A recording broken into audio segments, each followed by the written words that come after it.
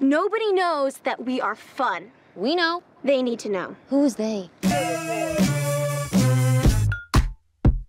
People sometimes assume that comedies can't be really stylish and beautiful, but of course they can.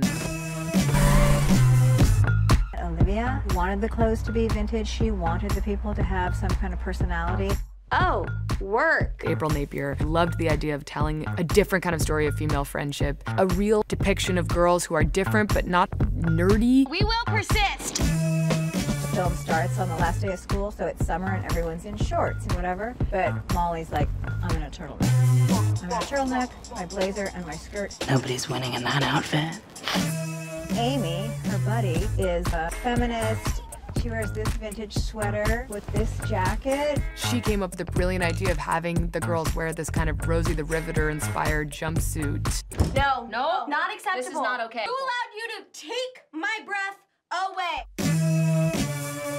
Gigi a little bit of Penny Lane from Almost Famous. She'll wear a fur, she'll wear a leopard skin coat. She just shows up at every party. Oh my god, you guys are here! How did you get here? How did you get here?